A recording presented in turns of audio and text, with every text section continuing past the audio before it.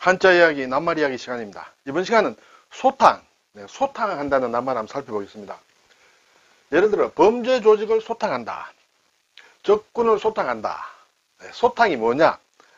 예, 한자로 쓰지 않아도 대략은 뜻을 압니다. 아, 그렇지만은 한자로 한번 또 정확하게 한번 살펴보겠습니다. 소탕, 소는 쓴다는 뜻이에요. 빗자루로 쓴다, 쓸 소자. 그리고 탕은 또 쓸어버린다. 네. 쓴다, 쓸어버린다. 물론 탕에는 이제 방탕하다는 뜻도 있습니다. 그러면 소탕이면 확 쓸어버린다. 그런 얘기가 되겠죠. 네. 자, 이 쓸소, 위에 쓸소는 보면 어, 손으로 쓴다. 그래서 이제 어, 손수자다. 손으로 이제 빗, 빗질을 한다. 이렇게 되겠죠. 오른쪽에 있는 글자는 어, 비, 빗자루를 뜻하는 비추다. 그렇죠? 위에 있는 이 부분은 이제 어, 손을 뜻하죠. 손으로 뭘 잡고 있다. 뭘 잡고 있느냐? 천이죠. 수건 근자. 그렇죠? 이렇게 돼 있다. 그래서 손으로 뭐 예를 들어서 뭐 마포 걸레 같은 거, 뭐 그런 걸 잡고 있다. 이렇게 볼 수 있겠죠. 그래서 어, 빗자루를 뜻하는 비추다. 그리고 이제 썰어버린다는 탕은 두 가지로 볼 수도 있습니다.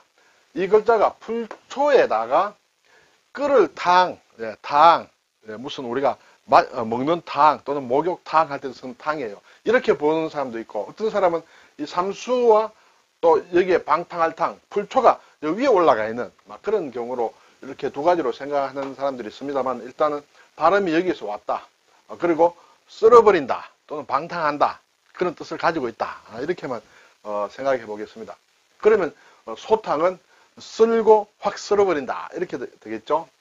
국어 사진을 보니 휩쓸어 죄다 없애버린다. 휩쓸어 확 쓸어서 전부 없애버리는 것이다. 공비 소탕 작전. 김 반장은 오늘 또 범죄 소탕을 위해 땀 흘리고 있다. 네, 사진에 나온 예문이 되겠습니다.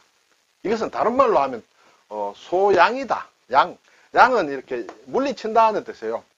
우리가 어, 근세 조선의 역사에 보면 양이 그렇죠. 어, 오랑캐, 오랑캐를 서양 오랑캐를 어, 이렇게 물리친다 할 때 양이에요. 그것도 소양은 쓸고 물리친다 그런 뜻이다. 그것이 비슷한 뜻이다. 또는 이제 소청이다. 썰어서 깨끗하게 한다. 이런 어, 유사한 말이 있습니다. 자 예문을 다시 보면 범죄 조직을 소탕한다. 범죄 조직을 확 썰어서 없애버린다. 적군을 또 어, 소탕한다. 그렇죠? 또 다른 예문을 보니 조씨는 폭력배 소탕에 걸려들어 형을 선고받고 복역에 왔다. 네, 이렇게 이제 소탕은 완전히 썰어 없애는 것을 얘기한다. 글자를 한번 보겠습니다. 소자, 쓸 소다. 그렇죠? 우리가 소거한다. 소거한다. 그거는 이제 갈거자다. 그렇죠? 썰어서 없애버린다. 이렇게 되겠죠? 부정적인 것을 모조리 없애는 것을 소거라고 한다. 어, 예문을 보니 이 지역에서 마약은 깨끗이 어, 소거되어야 한다. 한데 어, 이 소자를 쓴다. 쓸 소자를 쓴다. 근데 이러한 소거를 많이 씁니다. 또 끌소, 끈다. 어, 그렇죠. 끌소자에서 소거. 글자나 그림 따위를 지워 없앤다. 소거시킨다. 아, 막 이럴 때 저는 좀 유사합니다만은 어, 조금 어, 뉘앙스적으로 다르다. 네. 소재. 쟤는 제한다는 뜻이죠. 소재. 청소를 얘기합니다. 청소. 소재. 가끔 우리가 소지한다. 소지라고도 가끔 얘기합니다만 같은 글자예요. 같은 글자인데 소지라고 하는 것은 어, 일본 말이다. 일본식 발음을 우리는 소재라고 하고 일본식으로는 소지라고 한다. 네. 어, 소재가 우리말이고 소지는 일본말이다. 소해 바다를 깨끗이 쓴다. 청소한다. 이렇게 되겠죠. 안전한 항해를 위하여 바다에 부설한 기뢰 따위의 위험물을 치워 없애는 일이다. 그렇죠? 막 기뢰, 어뢰 같은 게 있으면 배가 마음대로 못 다닌다. 그래서 그것을 청소하는 것을 소해라고 한다. 그러한 배를 소해정이라고 한다. 이렇게 되겠죠. 일소, 한 번에 쓸어버린다. 한 번에 쓸어버린다. 한꺼번에 싹 제거하는 것을 어, 일소한다. 이렇게 되겠죠. 자, 이 쓸소자는 이제 어, 제방변에 비추자라고 했습니다. 이 비추자가 들어가서 만드는 또 어, 글자 중에 대표적인 게 며느리 부다. 여자 여자를 붙였죠. 네. 옛날에 글쎄요. 여자들이 빗, 질을 많이 했나 모르겠습니다만 이렇게 며느리 부다 부부 할 때 이렇습니다. 부부 남편과 아내 부부 자부다 아들의 아들의 어, 아내다. 그래서 어, 자기의 며느리를 얘기할 때 자부라고 합니다. 그렇죠? 어, 그리고 여기에 이제 어, 이러한 글자가 있습니다. 좀 복잡하죠? 어, 돌아갈 귀 이렇게 되겠습니다. 돌아간다. 자, 어, 귀향을 한다. 귀성을 한다. 예, 여기에 왜 비추가 들어가 있느냐? 예, 고향으로 돌아간다. 특히 사당에 간다. 조상을 모신 사당에 가면 빗질을 해야 된다. 막 그렇게 해석하기도 합니다. 그리고 위에 이제 대중머리를 붙인다. 그러면 비추자다. 비추. 네. 같은 비추인데 위에 대중머리를 붙이면 글쎄요. 대나무로 만든 어, 빗자루를 얘기할지 모르겠습니다. 자, 그리고 이제 이 추성이라는 게 있습니다. 별성자를 붙이면 추성. 자, 대나무로 만든 빗자루는 깁니다. 그렇죠? 길지요? 긴 꼬리를 가진 묘를 추성이라고 한다. 우리가 해성이란 말 많이 합니다. 그렇죠?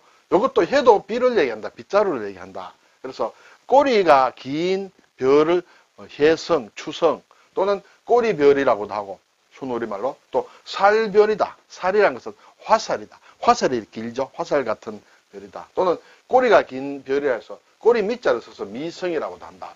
이 이외에도 또 다른 표현들이 있습니다만 추성, 해성 다 같은 말이다.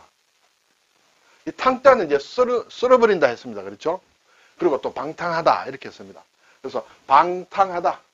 무엇을 탕진한다. 탕진을 한다. 재산을 탕진했다 할 때. 또 음탕하다. 음탕하다. 탕아 또는 탕자 할 때 이렇게 쓴다. 또 탕감한다. 빚을 빚을 탕감해 준다. 그렇죠? 빚을 싹 없애줘 버리는 거 탕감이다. 분탕질한다 할 때 쓴다. 상당히 어려운 말들입니다. 질탕하다. 아주 질탕하게 논다 할 때 질탕하다. 또 허탕하다. 예, 허탕하다. 예, 허랑방탕하다는 그런 뜻이에요. 서울에 가면 이제 탕춘대라고 있습니다. 그렇죠? 어, 저기 서울 도성과 저 북악 어, 북한 산성을 연결하는 가면 이제 탕춘대라고 있죠. 어, 날씨 좋으면 이제 그 등산 코스도 좋습니다만 탕춘대 봄을 질탕하게 즐긴다. 봄을 질탕하게 즐긴다. 예전에 연산군 때 이, 여기에 이제 탕춘정이라는 정자를 세우고 아마 연산군이 어, 질탕하게 놀았는 것입니다. 네. 자, 뇌진탕 할 때도 이 탕자를 쓴다. 뇌가 그렇죠. 뇌 머리에 뇌가 골이 쥐는 이렇게 진동을 한다. 뇌가 흔들린다. 뇌가 흔들려서 넌 그런 것을 탕인데 왜 여기 탕이 들어가느냐? 뇌진탕의 탕은 어, 흐리게 한다는 뜻이에요. 흐리게 한다. 이렇게 어, 뭔가 어, 흐릿, 흐릿해진다. 그래서 정신이 혼미한다. 막 그런 얘기가 되겠죠. 뇌진탕이 되면 아무래도 머리가 좀 어, 이렇게 흐려진다. 이렇게 되겠습니다. 자, 그리고 이제 탕 하면 이제 탕평이란 말을 많이 하죠. 탕평 또는 뭐 탕평채 할 때. 탕평은 탕탕평평을 줄인 말이다. 네. 싸움이나 시비, 논쟁 따위에서 어느 쪽에도 치우침 없이 공평한 것을 탕평이라고 한다. 네, 탕탕평평. 특히 우리 역사에서 보면 조선 영조 때 당정의 폐단을 없애기 위해서 각 당파에서 고르게 인재를 등용, 등용하던 정책을 어, 탕평책이라고 한다. 탕평이라 고 한다. 이 탕평이란 말은 중국의 서경에 나오는 말이다. 서경의 어, 홍범에 나오는데 무편무당, 편도 없고 당도 없다 그렇게 되죠. 무편무당 하면 왕도 탕탕이고 무당무편 왕도 평평이다 해서 치우침이 없으면 왕도가 탕탕하고 평평하다 이러한 말에서 온 것이 당평이다 이렇게 되겠습니다. 자 여기에 이제 어, 그 삼수가 들어가 있고 오른쪽에 이제 볕양이죠. 볕양이다. 볕양은 이렇게 해가 있고 그렇죠. 해가 있고 햇살이 이렇게 어, 쫙 내리쬐다. 막 그렇게 볼 수도 있고 해가 떠오르는 모양이다. 이렇게 볼 수도 이제 해가 떠오르면 이제 어, 열기가 있으므로 어, 물이 끓는다. 이렇게 될까요? 끓을 탕이다. 목욕탕 할 때도 그렇습니다. 삼계탕, 쌍화탕, 탕비실 그렇죠. 네, 사무실 가면 어, 탕비실 있는 것도 있습니다. 쌍화탕은 예, 어, 음과 양 두 개를 쌍이라는 게 두 개다. 그렇죠? 음, 음기와 양기, 음기와 양기 두 개를 이렇게 조화를 시켜주는 탕이다 해서 쌍화탕이다 하는 것을 예전에 한번 살펴보았습니다. 네, 여기에서 어, 빗자는 이게 끓는다는 뜻인데 불이라고도 발음하는 경우가 있습니다만 여기에서는 탕비라고 한다 이렇게 되죠. 자 이것이 이제 볕 양이다 그렇죠. 해가 뜨는 모양이다 또는 햇살이 비치는 모양이다.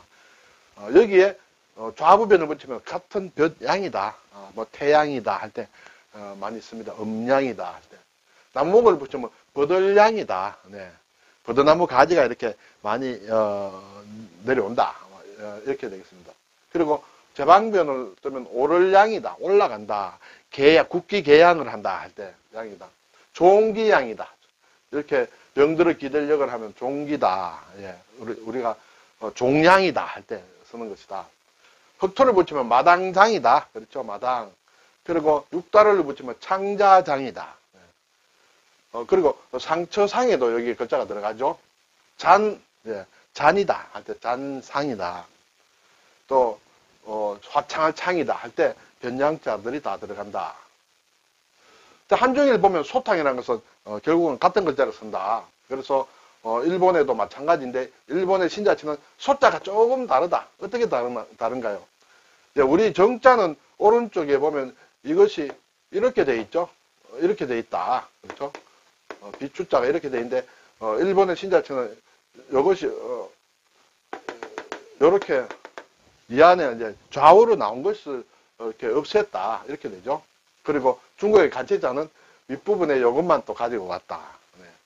어, 이렇게 또 썰어버릴 탕자는 어, 변양자의 모양이 그렇죠. 이렇게 좀 어, 바뀌었다는 것이 어, 중국의 간체자다. 막 신자체나 간체자는 이렇게 참고, 참고로 이렇게 자꾸 보시면 또 눈에 어, 익을 수 있다. 그렇게 해서 말씀을 드립니다.